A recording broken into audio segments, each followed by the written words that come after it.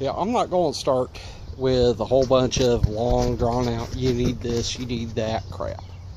Working on a 96 Ford Explorer 5.0 all wheel drive.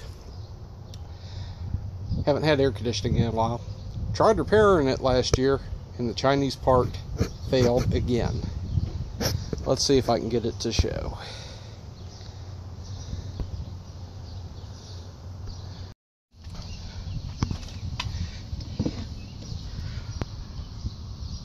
The tube that I repaired last year. And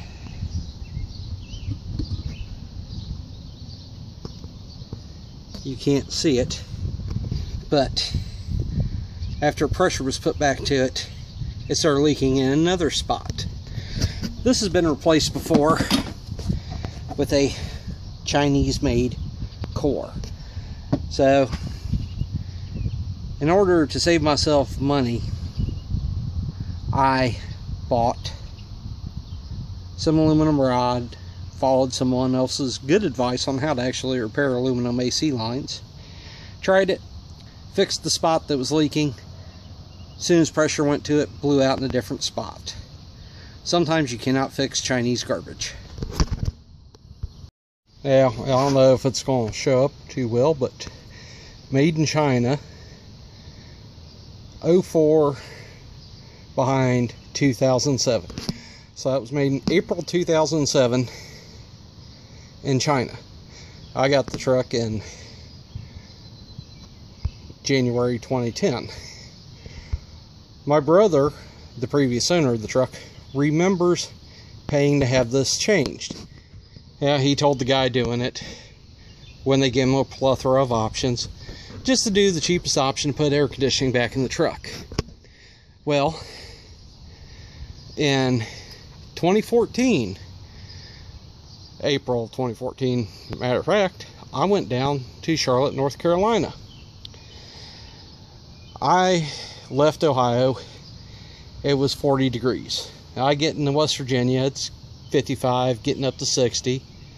Go through Virginia, it's getting into the 70s. By the time I got to Charlotte, it was 88 degrees and my AC didn't work. I found that out when I was going through Virginia and it started getting 78, 79 degrees and I tried to turn the air conditioning on to keep comfortable because I was wearing a still wearing a heavy t-shirt.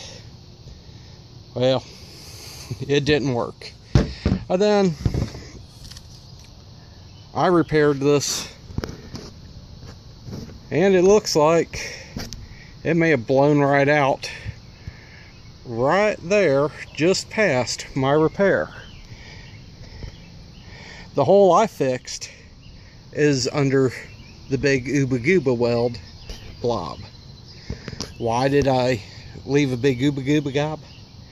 Because it looked thin after I'd scratched it in so I melted more on top as a cap.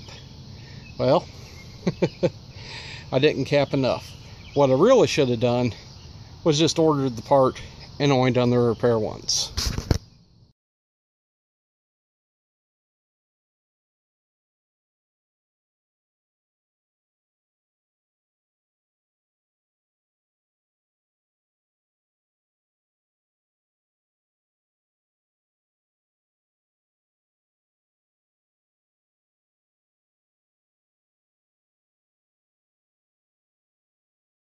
And just while I started my victory dance, because I got me a name brand replacement.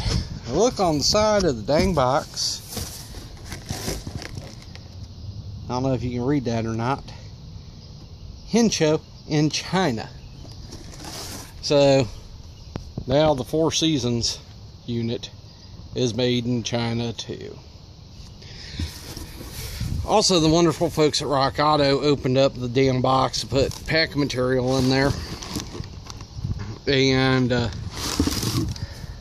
if there was a diaper kit in here, you know, the diaper pieces and the seals, they either threw them out or they didn't tell you that it doesn't come with them. For those who've never seen the Explorer engine bay without the box in there, you could actually see the motor the hardest part about doing this is fighting that box in and out of that confined space and past those hoses. Maybe it's easier if you have a 4.0 liter with the cam and the block. Maybe. My throttle body and heater hoses are in the way up top. I have to take the oil fill cap off. But that's life. Getting this out and playing with it a little bit. Just past my repair, that was so corroded that I just took the edge of a scraper and hit the hole that developed after I'd filled that one and the aluminum just crumbled into a bigger hole um, yeah it's pretty much deteriorated material because it was made very thin in China. And you see this crimps there? Those there in that area there is where the orifice tube sits.